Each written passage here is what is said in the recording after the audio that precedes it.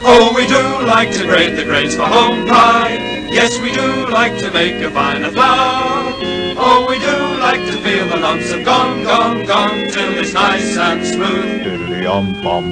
Oh, we do like to grate the grains for Homepride, and we'll do it for hour after hour. So if you want a flour fine, pick up Homepride every time, cause grating grains make finer flour.